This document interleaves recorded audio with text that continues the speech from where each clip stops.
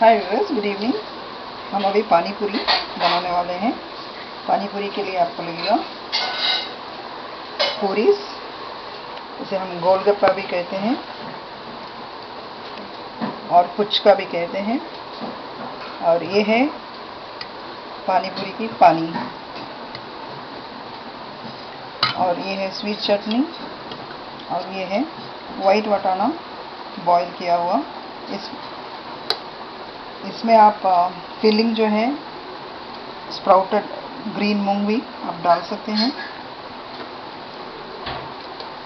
देखिए, पूरी कैसा फोड़ते हैं हम उसके बाद ये फिलिंग इसके अंदर।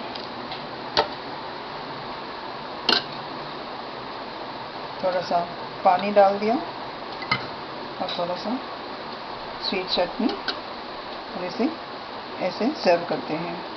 और आप इसे इसके अंदर डुबा के ऐसे भी सर्व करते हैं।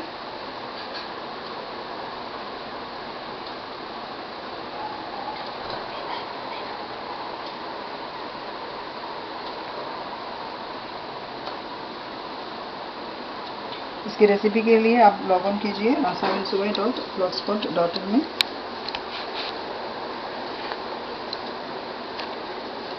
Thank you so much for watching the video.